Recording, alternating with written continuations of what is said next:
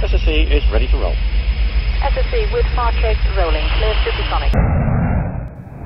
Since 1898, people have had a quest to push the boundaries of speed, creating new designs, new engines, and using better technology to go faster and faster. Tweaking here and tuning there to push their vehicles beyond all limitations. In 2013, the Bloodhound project will further push these boundaries to break the limit of 1,000 miles per hour. Three, two, one.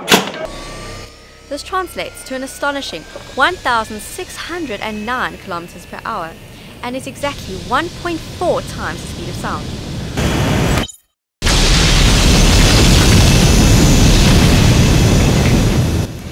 1997, Andy Green became the only person to go faster than the speed of sound on land in the Thrust SSC. In 2013, he will do it all over again in the Bloodhound. Not just any person can do this. Andy Green will be experiencing plus 3 Gs when accelerating and will slow down at 90 kilometers per hour every second, the equivalent of a crash.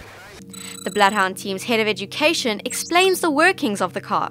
There are three power plants in a Bloodhound supersonic car. The first is a jet engine, high performance, lightweight. It's out of the Eurofighter Typhoon. It develops about 90 kilonewtons of thrust. However, we've also got a hybrid rocket car, uh, a rocket, sorry, that will develop 120 kilonewtons. And we also have a third motor, which is the Cosworth Formula One.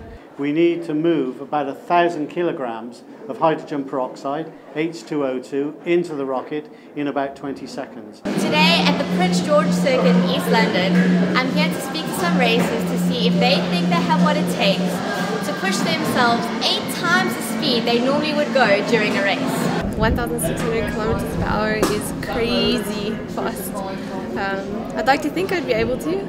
Probably not, no. I don't think I could do that. 240 is fast enough for me. Growing up loving speed, I'd accept the challenge. However, Dave Rowley is skeptical. I don't think anybody, maybe not even Jenson Button or uh, uh, any of the other Formula One drivers, could just jump into the car. I'm sure they'd like to have a go, but they'll have to fight Andy Green to, uh, to get into the car.